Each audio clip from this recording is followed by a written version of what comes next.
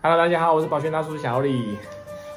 今天晚餐点的这一家呢，其实几个月前我点过一次，但是我点的是它的这个猪排的便当，那还有这个法国面包哈，鸡腿法国面包。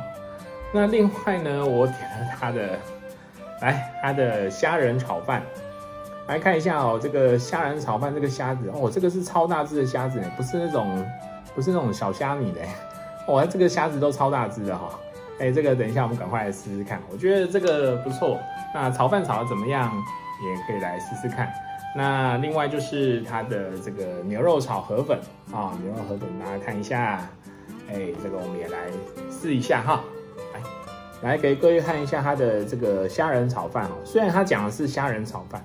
那实际上它用的是这种大的这个虾子哈，不是那种小虾米的这种这样子，那也不是碎碎，它是一整只哦，一整只这样虾子哦，还有好几个哈，你可以看到里面有好几个哦，所以这个这个真的蛮赞的，嗯，这个真的有新鲜。OK，它的炒饭，我来扒一下它的炒饭哈。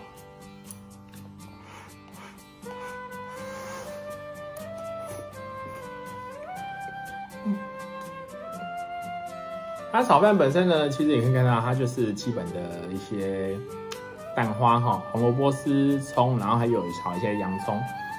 那它口味上呢，其实是酱油、胡椒，有带一点粤式的口味哈。粤式你知道它的那个不知道是加了鱼露还是什么的，哎，所以稍微有点粤式的口味。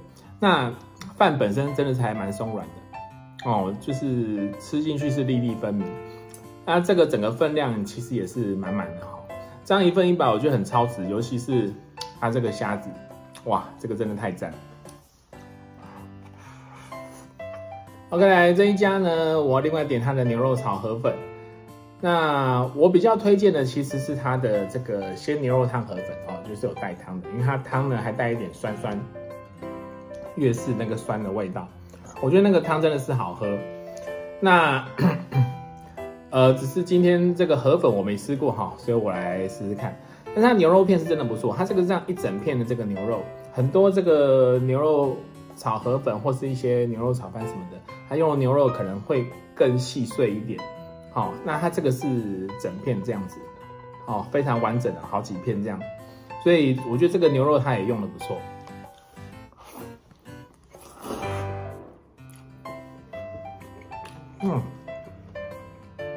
一整片牛肉，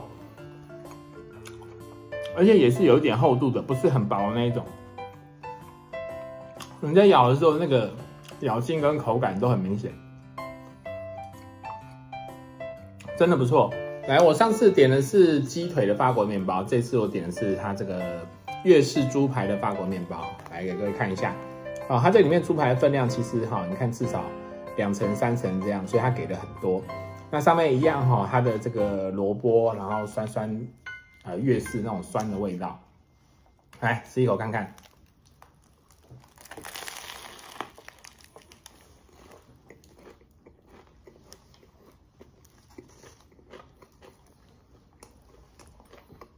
不管怎么说，这一家法国面包就是好，它表面都烤得很酥，也没有烤过头。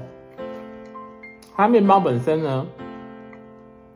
不会太过扎实，所以说你咬的时候事实上是还蛮轻松的，不会觉得说它那个面包太太硬或怎么样，真的是外酥内软刚刚好。至于它猪排的部分呢，它这个粤式的这个猪排，你看一下它的厚度，那其实它厚度还蛮厚的，哦，蛮厚的一个猪排，这个我觉得也很赞。那这个的话呢是一百块钱，如果是点鸡腿的话呢？是一百一哈，鸡腿那个比较贵，那鸡腿肉也是蛮厚的，这个猪排也是不错。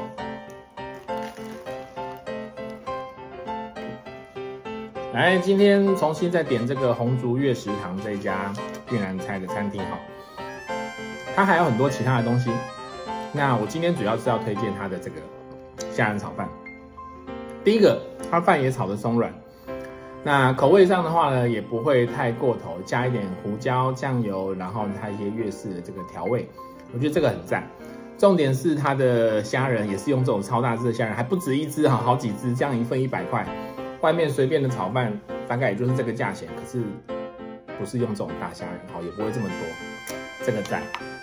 那河粉的话，我就有点小失望，没有关系。可是它的这个牛肉片真的好，河粉本身也是好的，那可以点它的这个咸牛肉汤河粉，好，那个也很赞。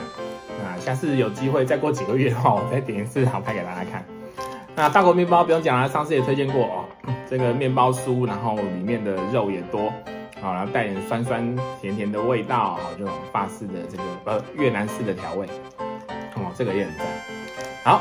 这个就是今天的开箱跟推荐，好，特别再推荐一次，好，好，这就是我的晚餐啦，拜拜。